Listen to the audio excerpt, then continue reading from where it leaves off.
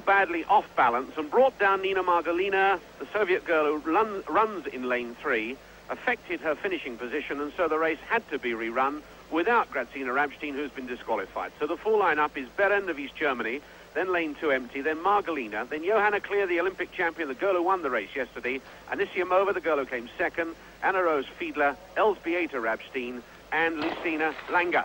And away goes the Olympic champion. Klier's got another lead, but Anisimova is with her. Two Russian goes with her. Nina Morgulina going back now. It's going to be another victory, and rightly and properly. Johanna Clear gets there. Then it looked like... Uh, second start.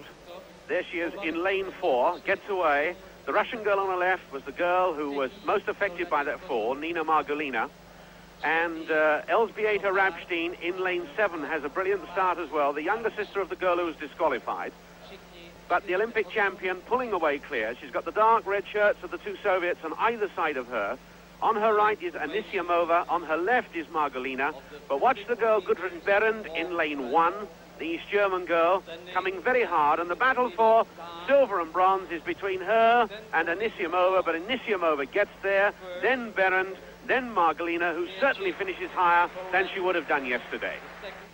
Well,